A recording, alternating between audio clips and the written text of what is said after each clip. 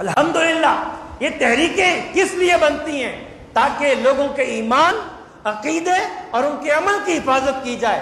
अल्लाह अकबर, अगर यह देखा जाए ना कि हर चीज़ की हिफाजत हो रही हो, अकीदे की भी हिफाजत हो रही हो, अमल की भी हिफाजत हो रही हो और दीगर मामला में भी बंदे की इसलाह की जा रही हो, उसके ज़ाहिर को भी संवारा जा रहा हो, उसके दिल को भी संवारने की कोशिश की जा रही हो और वो अमीर अहल सुन्नत की तहरीक दावत इस्लामी और भी अलहमदुल्ला हर तहरीक ने अपना काम किया और उसने जो भी अहले हक की तहरीकें, सब हमारी तहरीकें अलहमदुल्ला जो भी सुन्नी सयुल अकीदा की तहरीक है, वो हमारी तहरीक है। ठीक है? ये जहन में रहे। अल्हम्दुलिल्लाह। और जहाँ हमसे बन पड़े, हमें उस तहरीक का साथ देना चाहिए, जिस तरह भी हम दे सकें। और शरीयत के दायरे में रहते हुए।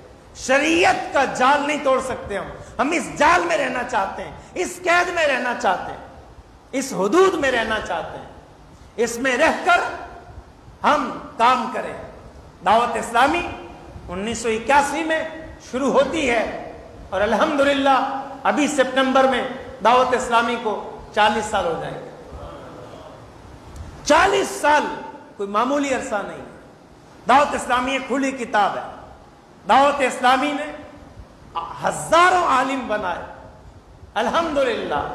दर्जनों मुफ्ती बना दिए, अल्हम्दुलिल्लाह।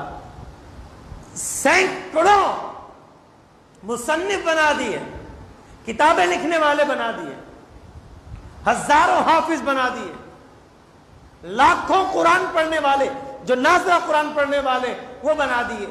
दावत इस्लामी ने लाखों लाख नमाजी बना दिए। अल्हम्दुलिल्लाह। देखिए हमें किसी फर्द के अमल से इख्तलाफ हो सकता है। भाई, दावत इस्लामी का उस बंदे ने ऐसा कर दिया तो भाई वो उस बंदे का फेल है। दावत इस्लामी क्या है? अमीर सुन्नत ने एक मरतबा पूछा गया कि मरकज कौन है? मरकज कौन है? फरमाया आई एम मरकज। क्या फरमाया? मरकज में हूँ। तो मरकज कौन है? अमीर सुन्नत। तो हमारे लिए दावत इस्लामी का मैार कौन है? वो अमीर सुन्नत की हस्ती है। दावत इस्लामी क्या है? आप करीब आके देखें। करीब आके देखें। बाजुकात वसवसे होते हैं। बाजुकात तशवीश होती है। और कभी कोई बात होती भी है कि उसकी इसलाह होनी चाहिए तो उसका तरीकेकार है। दावत इस्लामी ने बाकायदा जो है वो शिकायत का सेल कायम कर रखा है। उसका पेज बना हुआ है।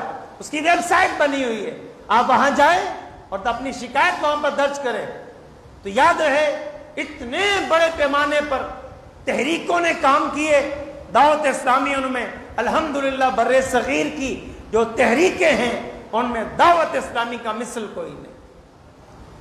बल्कि अगर मैं यूँ कहूँ यूँ कहूँ कि दावत इस्लामी उमुल तहारीक है, तहरीकों की माँ है। क्या है?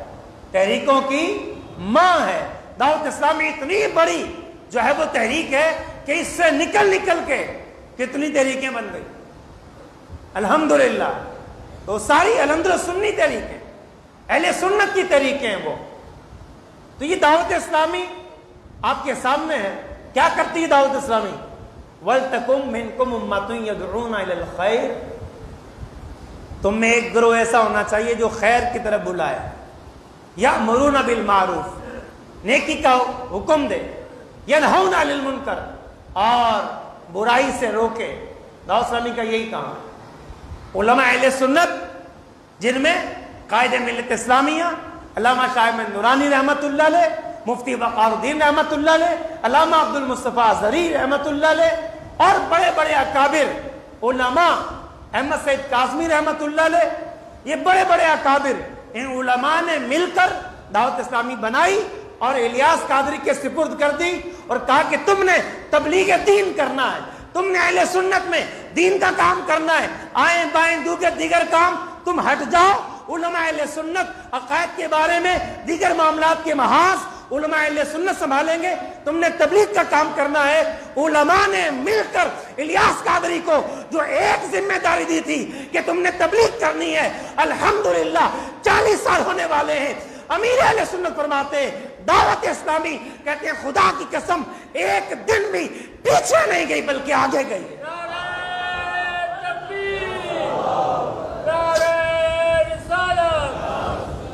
तो ये दावत इस्लामी सरकार की गुलामी का नाम है। गौसे आज़म की गुलामी का नाम है। दावत इस्लामी औलिया की गुलामी का नाम है। हुजूर अली सलाम की सीरत पर, हुजूर की ज़ात पर तन, मन, धन कुर्बान करने का जहन मिलता तो दावत इस्लामी में।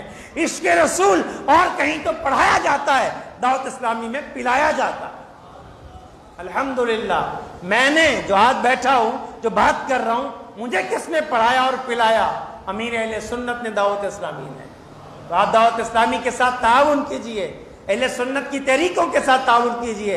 हम, ताकि हमारा ताउन अगर जान मांगे तो जान दे दें, माल मांगे तो माल दे दें, वक्त मांगे तो वक्त दे दें। हम, हमसे जो है वो हमारी औलाद मांगे तो हम औलाद पेश कर दें। अल्लाह के लिए, उसके रसूल के लिए अपना तन, मन, धन कुर्बान करने का जहन बना लीजिए और इन तंजीमों के साथ वाबस्ता हो जाए। इन इन अहले सुन्नत की सारी तंजीमों, बशमुल दावत इस्लामी, इसका रुख किधर है? ये आपको मदीने की तरफ़ लेके जाना चाहते हैं। मदीने वाले की तरफ़ लेके जाना चाहती हैं। अल्लाह पाक अमल की तोफ़ी अता फरमाए। आमीन, बिजाह नबी अमीन अलैहि वसल्लम।